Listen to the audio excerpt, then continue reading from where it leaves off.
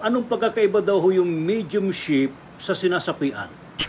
Talagayang kababalaghan, pananaliksik sa kapangyarihan ng isipan, pagpapakita ng mga nilalang, inyong matutunghayan sa Gabi ng Misteryo.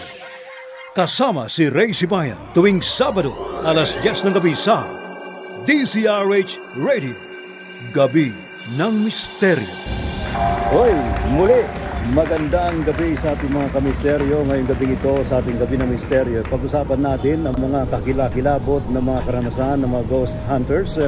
Hindi lang po rito sa Pilipinas kundi sa ibang bansa, no ha? Uy, uy, bro, narinig mo? Uy, narinig mo? Nakikilabutan ako guys. Ora, iba talagang dating dito, guys. Iba talaga dito. Mayroon pong panyanya rito si Miss Krisa. Hello guys, magandang gabi sa inyo. Ako nga po pala si Chris sa Ghost Vlogs ng Team Kilabot HK. Ah, abangan niyo po kami mamayang gabi sa programa ni Sir Ray Sibayan na Gabi ng Misteryo.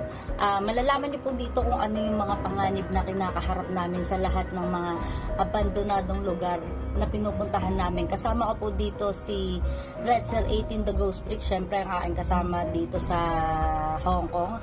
At ang Team Kilabot PH na si Manila Ghost Explorer at si Adventure Ducks. Yan guys. Sana magkita-kita tayo mamayang gabi 10pm guys. See ya!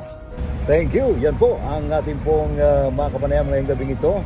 And uh, miyembro ho ng Team Kilabot na live po mamaya sa Gabi ng Misteryo. Tonight, 10 to 11 p.m. sa DZRH.